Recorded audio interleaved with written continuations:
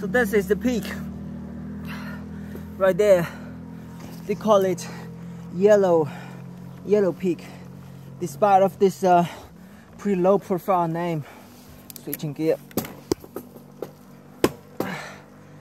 This mountain is magnificent. I I'm pretty uh, um, impressed about this. The rocks here are pretty unique, pretty old, super old. I I never seen so many round round rocks with holes inside. That's of multi-million years of water flushing.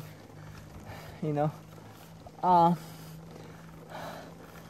the yellow, the yellow peak is right there with the, the, the super blue sky, and the road goes all the way around to another side of the peak, and that's I think is the pass is. Um, I have a long way to go. I, I am hurry. This is the uh, recovery spin with 52 cassette. No more grinding.